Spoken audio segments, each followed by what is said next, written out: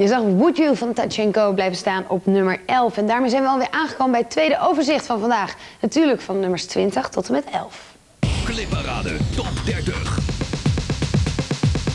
Op nummer 20 vinden we het zes plaats verlies U2 en The Sweetest Thing. En Friends van Close To gaat drie plaatsen omhoog naar 19.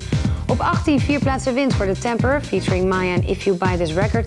Het Thank You van Alanis Morissette gaat vijf plaatsen omlaag naar 17. Nieuw binnengekomen op 16 Will Smith en zijn Miami. En Sweetheart van JD en Mariah Carey gaat vijf plaatsen omlaag naar 15. Hoogste nieuwe binnenkomer vinden op nummer 14 R. Kelly en Celine Dion met I'm Your Angel. En op 13 vier plaatsen winst voor Janet en haar Every Time. Op 12 zes plaatsen verlies voor George Michael en Outside. En Would You van Touch Go blijft staan op nummer 11. Clipparade Top 30.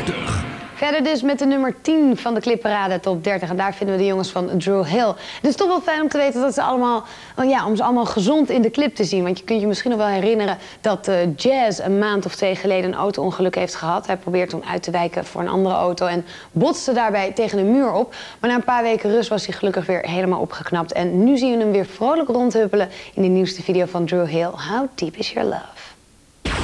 Nummer 10.